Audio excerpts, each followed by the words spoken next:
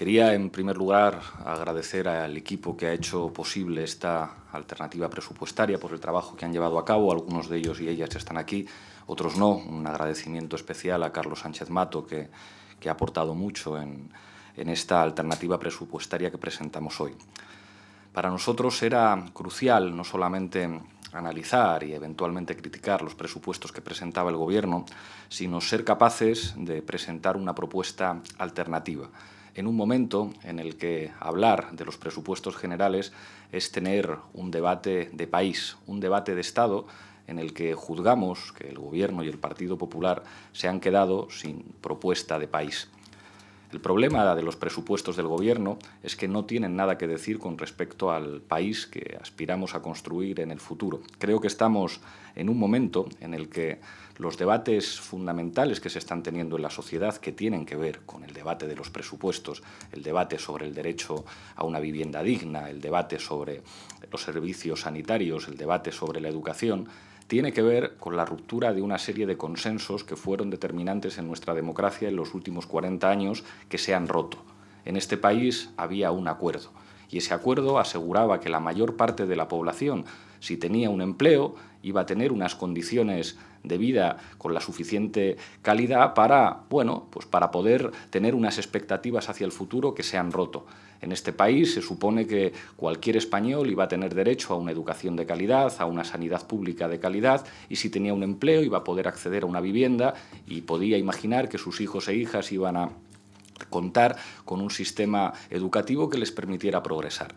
Eso se ha roto y se ha pretendido instalar una falsa normalidad que consolida de alguna manera los recortes y que básicamente no tiene nada que decirle a España y al papel de nuestro país en Europa en el futuro.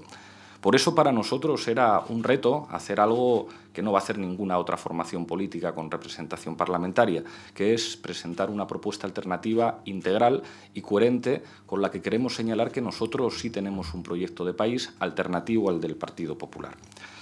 Ya han explicado mis compañeros que los presupuestos del Gobierno no están a la altura de las necesidades de nuestro país, consolidan los recortes y hay un dato inequívoco, 5.000 millones de euros menos respecto al presupuesto del año 2016 y además nos alejan de Europa les daré dos datos muy claros. El gasto público total en proporción al PIB es cinco puntos más bajo que la media de la eurozona y nuestros ingresos públicos, que es lo fundamental del problema de los presupuestos que plantea el Partido Popular, son ocho puntos de media más bajos en relación al PIB que en la eurozona.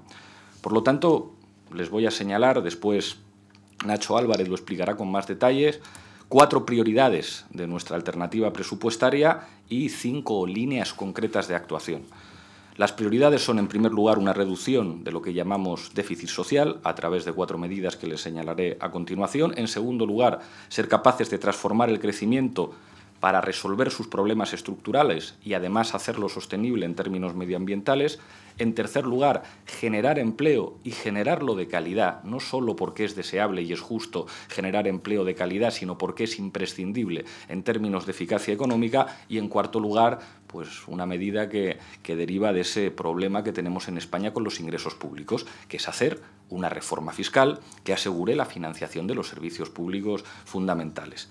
Para ello les concreto cinco líneas específicas. La primera, ingresar más para gastar mejor, y eso se traduce básicamente en una incorrección de la insuficiencia de nuestro sistema fiscal.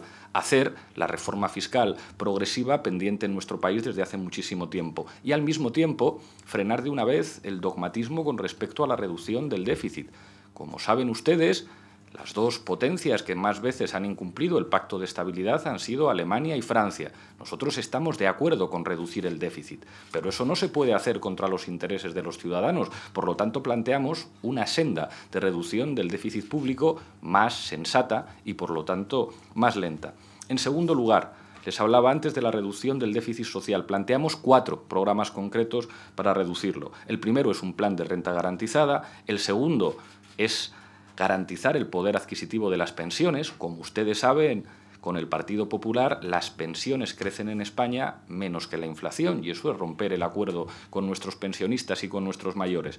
En tercer lugar, es imprescindible recuperar la atención a la dependencia y en cuarto lugar, llevar a cabo un plan integral de igualdad entre hombres y mujeres. La tercera línea concreta, la transición energética como palanca del cambio de nuestro modelo productivo.